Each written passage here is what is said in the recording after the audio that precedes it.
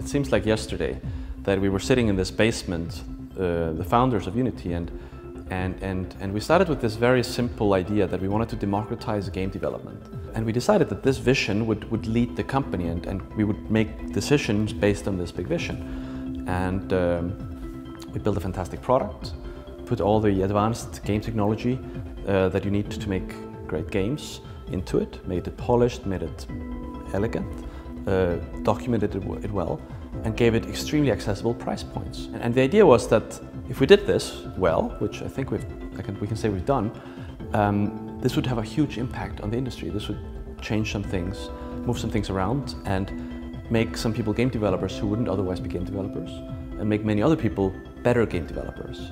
A vision like that, you know, um, the value of it can sort of almost be measured by not just where it's trying to take you, but, but how it helps you make the decisions along the way.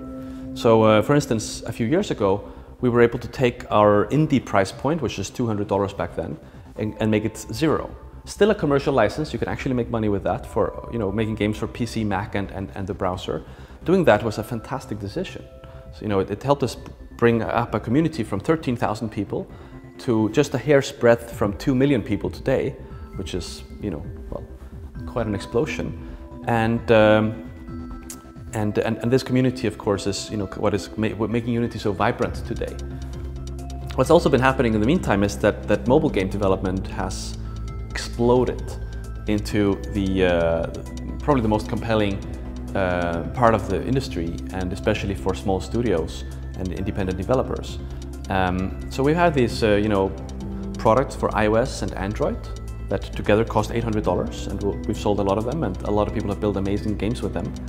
Um, that allowing ourselves to be guided by this original vision, we have decided as of today, right now, um, to make them completely free. You can download them off our website, you can use them, and uh, you can build great games, you can sell them, you can make them money, and uh, I'm just looking forward to seeing what you're going to build with it. Enjoy.